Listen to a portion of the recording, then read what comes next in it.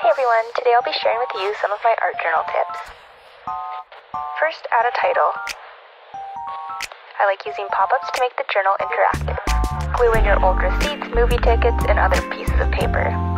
I love letter stamps for adding quotes and different materials to experiment with. This is some tape. Try out new ideas and different materials. I also like adding page numbers to my journal. Use different stickers and things to add texture. Play around with your mediums. I like splattering paint. Write or journal. I love making collages using things from magazines or flyers. And the most important thing is to have fun.